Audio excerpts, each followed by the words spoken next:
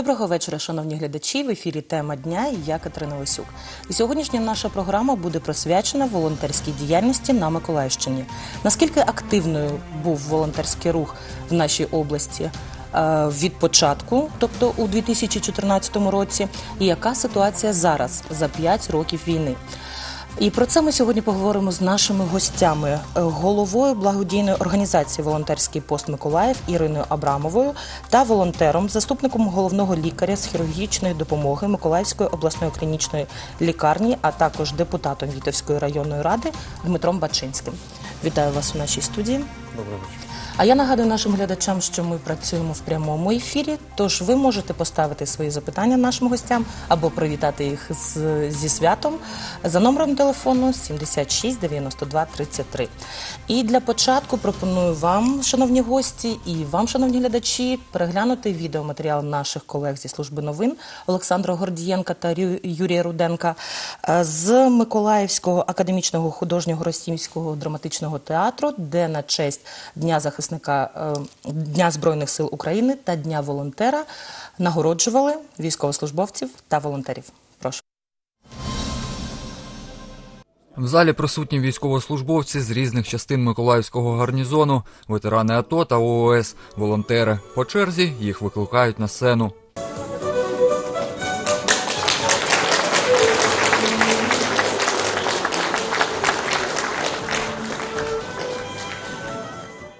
Серед присутніх Олег Хусаїнов, працюючи відеооператором, паралельно як волонтер почав їздити до зони АТО з 2014-го, за що й отримав відзнаку від президента України. Фактически вот Фактично, от скільки тривало АТО, стільки ми туди і їздили. Усяке бувало. Ну за деяке взагалі і пригадувати не хочеться, тому що війна це війна. Ну а так, те, що ось ось це ось, в принципі, це не моя заслуга. Це заслуга тих волонтерів, з якими ми туди їздили, які не побоялися на передову на нуль. Обстріли, не обстріли, хлопцям треба привезти. Ну ми не відставали, і слава Богу. Увага і маленьким волонтерам. Я малювала малюнки, мама їх клала, клала в носки і, і передавала військовим. Потім я почала в волонтерському посту, і там я готувала військовим бутерброди, і набивала їм сок та чай. Після нагородження розпочалась друга частина. Це театралізована програма з уривками з вистав нашого драматичного театру е, разом з військовою е, військовим оркестром військової частини А 2062 а, військово-морських сил України.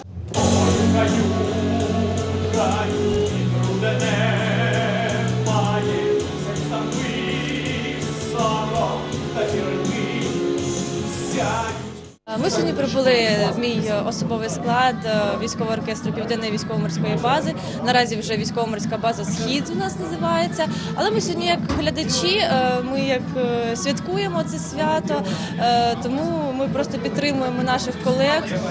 Дуже раді, що Збройні сили України нас сильні, тримаються і ніколи на коліна не впадуть.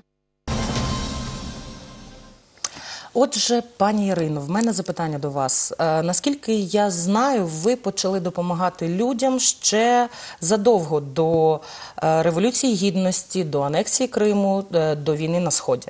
Розкажіть про це, будь ласка. Ну, про це немає чого якби так розказувати. Таких, як я, багато допомагали різним фондам, які допомагають людям, які попали в скруту. Ну, це тяжко назвати волонтерством. Це називається ну, допоміг якось е, фінансово, ну, на цьому і все. Це тяжко. Це якби так. Ну, в моєму баченні це не волонтерство. А волонтерством коли почали займатися? Так як і всі. В 14-му? Ну, ще в 13-му, тоді, коли був Майдан, е, хтось міг стояти на Майдані е, неділями, хтось там взагалі жив на Майдані, комусь потрібно було допомагати. Збирали медикаменти, возили туди, ну, десь два рази на місяць їздила в Київ. Ну, з медикаментами, з допомогою. Там з нашого підприємства хлопці стояли в дві зміни. Ну, а ми, дівчата, допомагали по всій Україні, збирали ліки, збирали допомогу. Я зрозуміла. Пане Дмитро, поясніть, будь ласка, як так сталося, що лікар-хірург став волонтером, і що стало каталізатором, що ви вирішили займатися цією справою? Ну, знаєте, я як і всі інші, е, ну, взагалі я вважаю, що волонтерство це якби не професія, да? це поклик душі. Це більш за все, тому що в ті е, часи від початку АТО, е, звичайно, як всі е, люди, які люблять свою країну е, за покликом душі, почали допомагати військовослужбовцям. На той час всі знають, як, в якому стані була у нас армія по забезпеченості, по кількості. Тому, звичайно, це як так як це наша спільна справа, наша країна, то звичайно, я, як і всі інші, вирішив, що е, я можу, крім своєї медичної, е, медичної своєї професійної діяльності, займатися і е, волонтерством. Тому е, це, це від серця йшло, від душі. Тому тут, тут не потрібно щось придумувати, е, вирішувати. Це, це просто був як такий патріотичний, як е, така діяльність, як, яка відходила від серця. Я зрозуміла. Спілкуючись з військовослужбовцями, хлопці казали, розповідали про те, що в 2014 році, ну в принципі, це не секрет ні для кого, що української армії як такої не було. І якби не допомога волонтерів, то взагалі невідомо, чим би все завершилось. Адже волонтери е, постачали все, що все, що тільки необхідно було хлопцям, починаючи е, від е, обмундирування, закінчуючи засобами гігієни і одягом. Е, Ваша перша подорож. Е, Коли вона була, куди і що саме збирали? Пані Ірино, будь ласка. Ви знаєте, я хотіла би трішечки зауважити е, наступне. Не можна говорити про те, що якби не волонтери, нічого би не було. Ми підтягували тил, так само, як ми його підтягуємо і зараз, в перший час. А наша держава витрачала кошти на озброєння. Хоча й волонтери також дуже багато наших миколаївських допомагали в ремонті техніки, все. Ну, ми, звичайно, як е, жінки перші, бідні, голі бусі, голодні, треба допомогти. Але це було 14 рік, і зараз навіть коли таке згадуєш, е, здається, Боже, невже це колись було дійсно таке, що вони були роздіті, були голодні. Ну, просто не було цієї системи, ніхто не був готовий до війни. Я зрозуміла. До речі, я попрошу наших режисерів показати нашим глядачам е, фотографії Ірини якраз 2014 року, коли почалась її волонтерська діяльність саме. Е, Розкажіть, куди ви вперше поїхали і що конкретно все ж таки привезли? Ну, Там не тільки 14-го року Ага. е, фотографії, там ну, за всі роки таке. Е, В 14-му році спочатку е, ми з моєю подругою з Вікою Барашиловою зустрічали дівчат, які виходили разом із своїми чоловіками з Криму, розміщали їх в геріатричному пансіонаті. Я ще перший раз стіснялася, тому що Віка раніше в мене туди поїхала. Е, Потім ми зрозуміли, що там е, е, потрібна допомога нашим хлопцям. Не було, що ми не знали, куди йти, до кого бігти. Ми просто знали, де вони є, і таких машин туди ну, багато пішло з Миколаєва. Дуже багато. От е, приїжджали, там стоїть одна машина, там стоїть друга машина. От що було, те й везли. Ми розуміли, що потрібно чимось утеплитись, е, чимось нагодувати. Ну, ну таке. То грузили машину та й везли. Яким чином збирали? Ну, я, е, я спочатку не збирала, я допомагала тільки своїм. Я взагалі працюю директором страхової компанії, в мене є основна робота. Е, Усе є, фінанси є, ресурси, загрузили машину і повезли. Все. Я зрозуміла. Пане Дмитре, ваша перша подорож. З чим їхали до хлопців? Моя перша подорож це була це був 2014 рік, і це була подорож ну, не конкретно в якийсь населений пункт, а це був так, е, що порахувати від Миколаєва і назад, то ми їхали десь 2000 кілометрів. Це практично по всій лінії оборони. Заїжджали і в Мар'їнку, і в Красногорівку, і Дебальцево, тоді ще наше, да, і і в Луганську область. Тому ну, там проїхали дуже багато.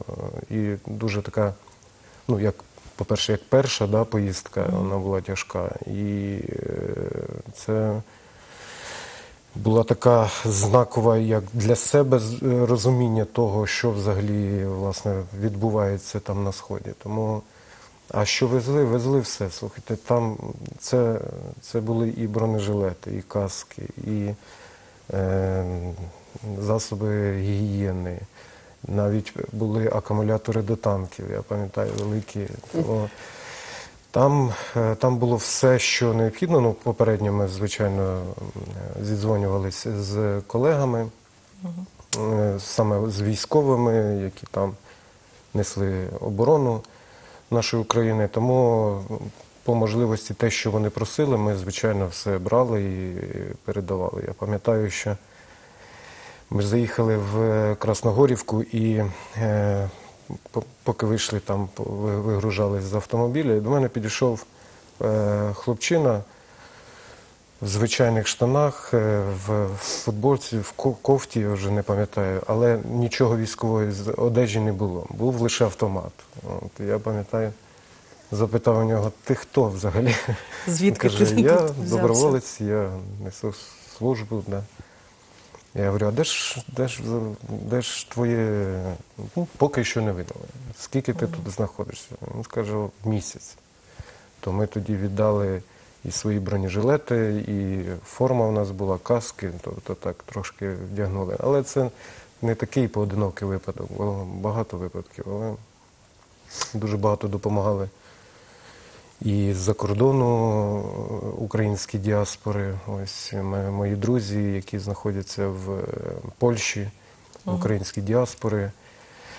Звичайно, вони є вихідцями, їхні батьки вихідцями з України, тому це е, ми постійно спілкуємось і тоді, і до бойових дій спілкувалися, і вони, звичайно, також підключились до, до збору допомоги, і вони на той час дуже багато допомогли. Я пам'ятаю, вони зібрали коштів ну, з підприємств, з людей, які не байдужі до цієї ситуації в Україні, зібрали певну суму і закупили на той час е, препарат, який називався Целокс.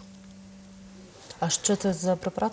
Е, Це е, гемостатичний, гемостатичний препарат, е, який є у випадках при якихось е, вогнепальних пораненнях, кровотечах. Ось е, він е, саме направлений для зупинки кровотечі. Він буває у вигляді порошку. Це саме військовий такий е, препарат. е, Ось і він миттєво зупиняє кровотечу, що власне є самим важливим в, е, при вогнепальних зброях. Крім того, там також дуже багато було допомоги і 500 комплектів е, е, термобілизни було, які ми передали і в Національну гвардію, і Добровольцям багато було передано. І крім того, ну, харчування, ну, там, там дуже багато було допомоги від них, і за це їм дуже вдячний, як і хлопці вдячні. І цей целокс, пам'ятаю, що передавався.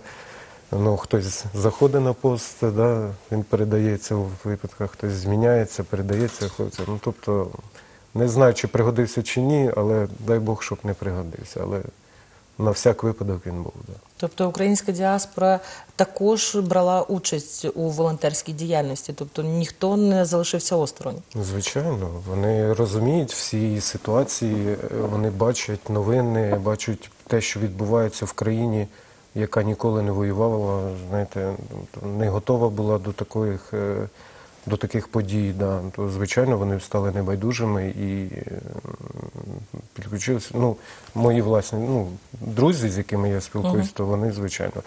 Крім того, там були діаспори з Великобританії, з Америки, передавали кошти для закупівлі саме і продукти передавали. Ну, тобто підключились інтенсивно.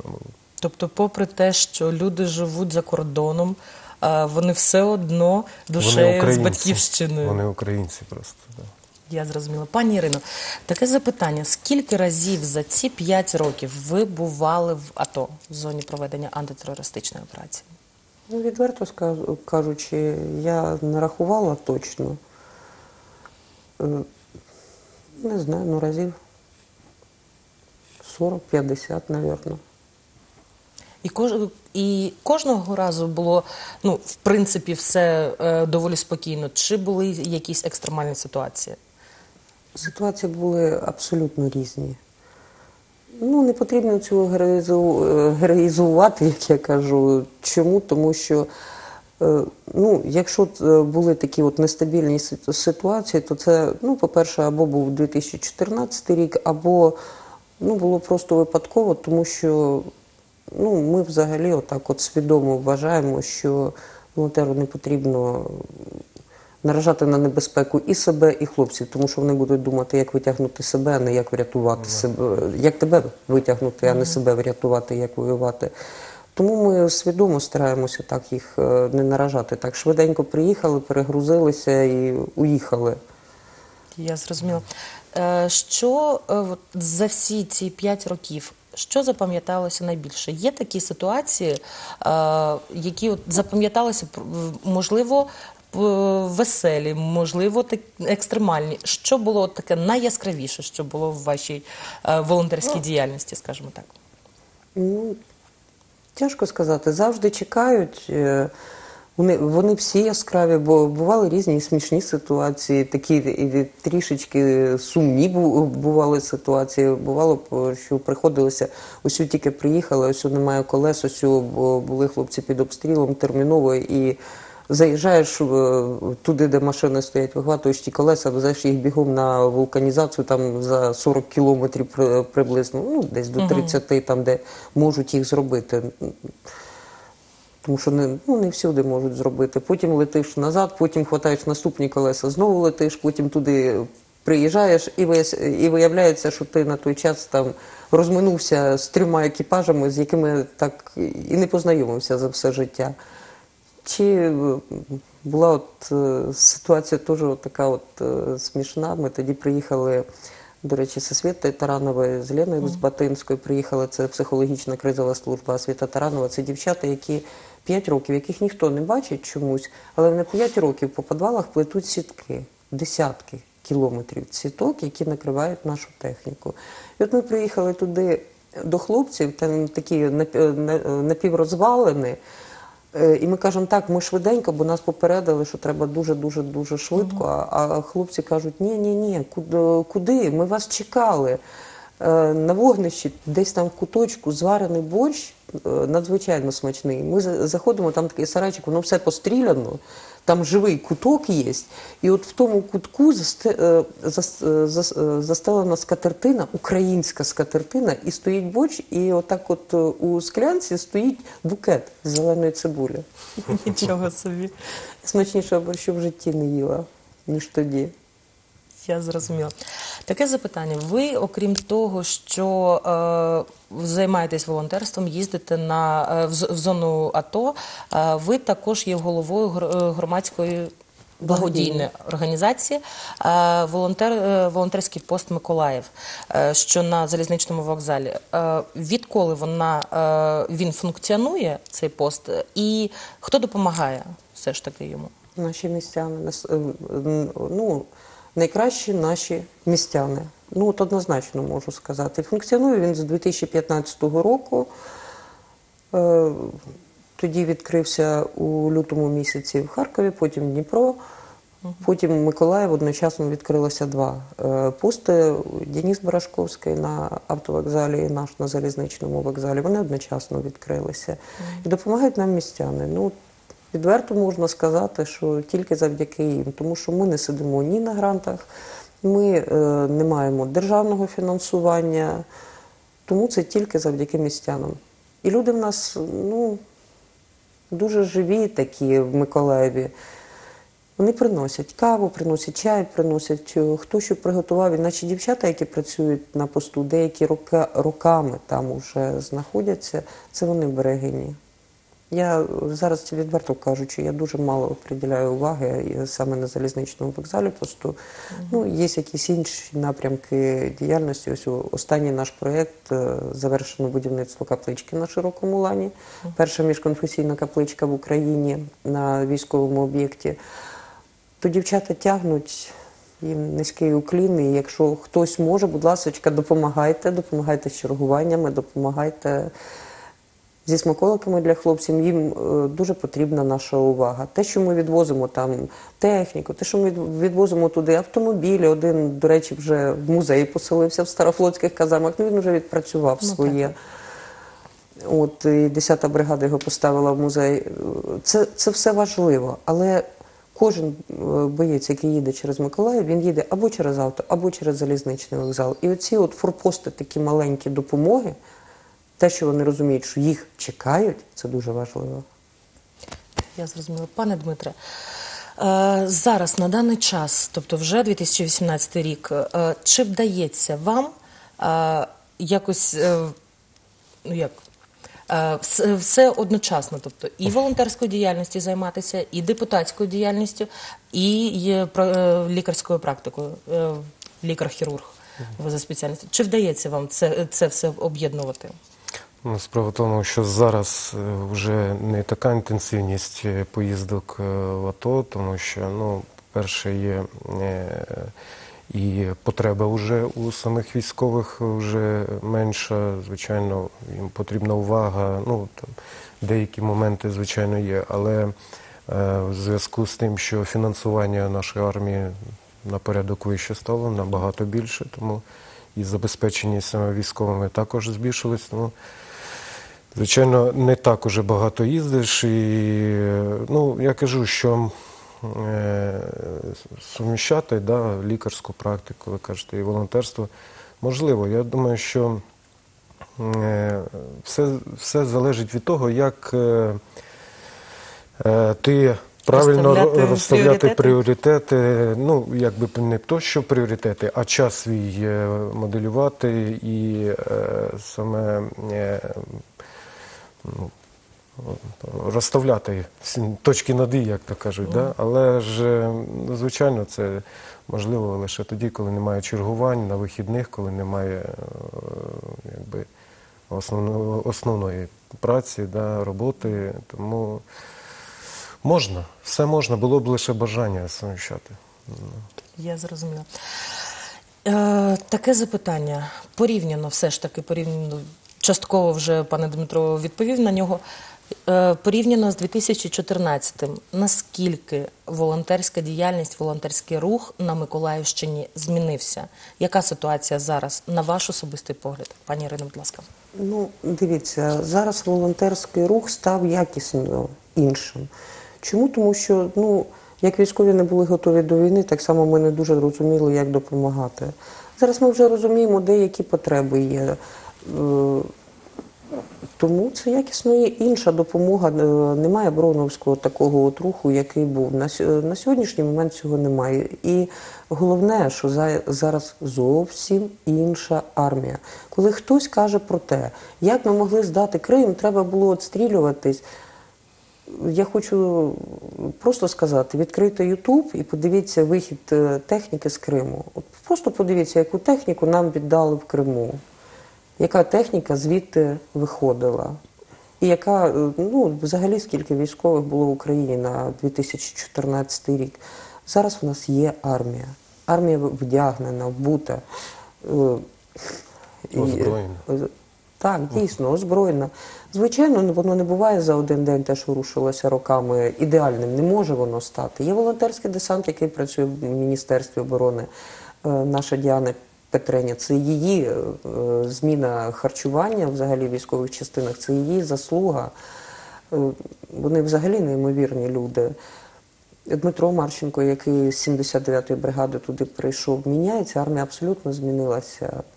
Тому і волонтерська допомога міняється. Якось знаходимо інші якісь напрямки, якісно інші.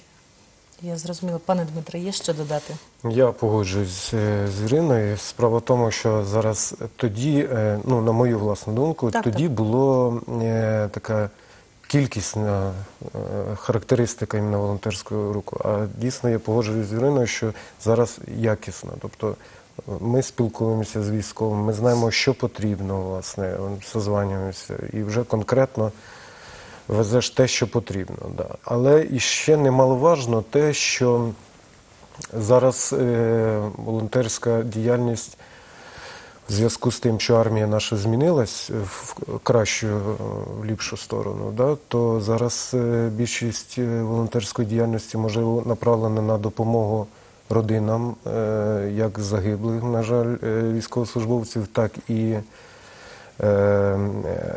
родинам е, військовослужбовців, які несуть зараз е, варту на кордонів, да, і дітям, е, матерям, е, тобто е, саме родині. Тому Зараз наших військовослужбовців достатньо багата кількість, тому і потреби ну, у кожного є різні. Тому я думаю, що волонтерська діяльність також може бути направлена, і вона направлена на саме допомогу і родинам військовослужбовців. Я зрозуміла. Ну що ж, час нашої програми вже сплинув. Дякую вам, що завітали ще раз зі святом вас, Днем волонтера. Натхнення Днем вам і Да, здоров'я. Да, дякую. А я прощаюся з вами, шановні глядачі. Гарного вечора. На все добре.